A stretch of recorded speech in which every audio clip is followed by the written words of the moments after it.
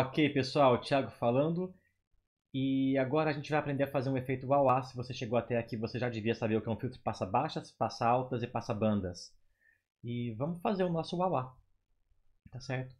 Vamos voltar lá no que a gente estava fazendo no, no, nosso vídeo anterior, para eu não ter que refazer tudo, tá? Se você não sabe o que está acontecendo aqui, volta no nosso vídeo anterior e, e, e, e assista.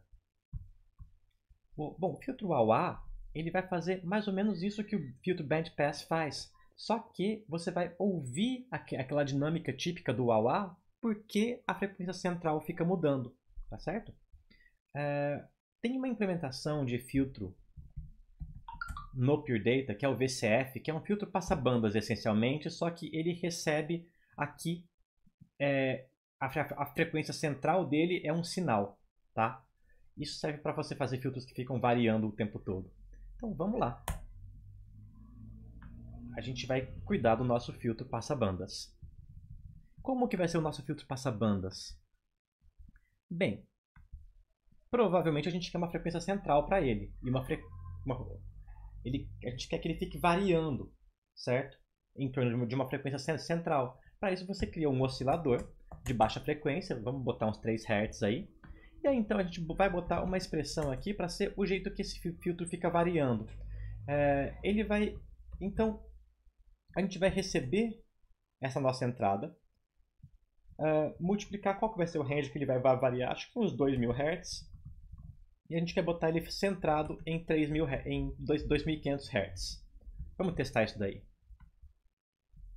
E a gente quer que o nosso filtro tenha fator de qualidade 10.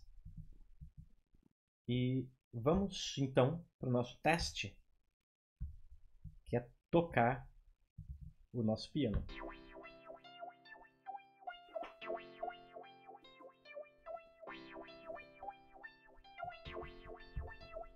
E agora repara como o nosso wah está acontecendo. Vamos deixar ele oscilar um pouquinho mais devagar.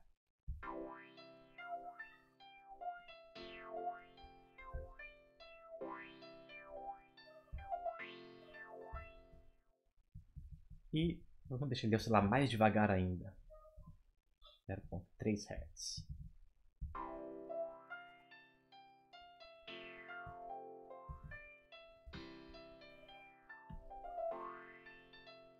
Agora, vamos ficar olhando o nosso espectro enquanto ele acontece, enquanto esse, som toca, só para a gente ver ele variando ao longo do, do tempo. Ok, vou botar aqui 2 Hz de novo para ficar um pouco mais agressiva essa variação.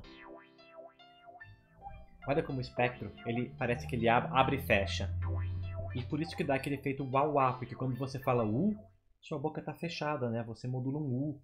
E o a, ele está com a, caixa de ressonância mais aberta e você solta mais agudos. É como se o som ficasse fazendo uau, uau, uau.